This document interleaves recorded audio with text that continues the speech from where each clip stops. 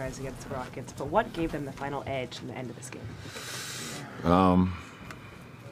They made a couple big shots. We had a couple turnovers, uh, and they got a couple stops. You know, when the game was going back and forth, um, so uh, allowed them to kind of, you know, take that, you know, back and forth thing, and they kind of took control like in the last, you know, three minutes. And what proved to be the biggest challenge going against their small ball? because of what he's doing this year as far as scoring the basketball. Uh, you know, but Russ, you know, Russ, you know, definitely um, did what Russ is capable of doing, and we've seen it a lot throughout his career. He was uh, he was wonderful tonight. Their first, your first look at Covington on that team, and he was guarding you a few times. What did you think they looked like with him on the team? Um, as expected, you know, he was, he was brought in to create space, knock down open shots,